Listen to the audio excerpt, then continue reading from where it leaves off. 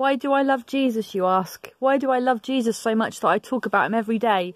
Why do I put about him on my Facebook? Why do I why do I breathe and live and wear stuff that reminds me of Jesus every day? Why do I do it?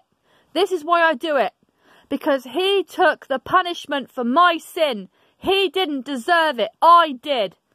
He did it for me. He died for me. He loves me.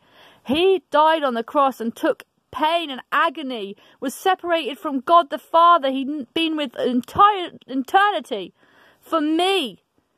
He did that for me because he loves me, because he loves everybody. If we repent of our sins and trust in Jesus Christ as our Saviour and turn away from our sins, we can be saved from hellfire and the lake of fire, which we rightly deserve because we've fallen short of His holiness. We've all sinned and we've all fallen short and we all deserve that punishment. We've all lied, we've all stolen, we've all cheated, we've all fornicated, we've all been drunk, we've all done sin, we all deserve it. He did not deserve it. I love Jesus because he did not deserve what he went through. But his great love, he died for us. He died for me. There is a place of torment.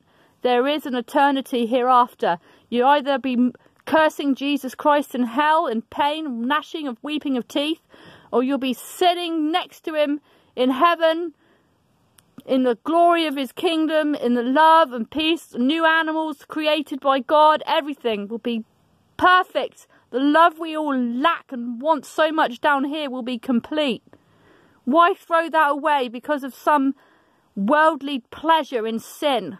Give up your sin and grab hold of Jesus Christ while you still can. Many are there now in hell wishing they'd listen to people like me listening to preachers who told them the truth. If you're doing things you know you shouldn't be doing, repent, turn away and trust in Jesus. It'll be worth it.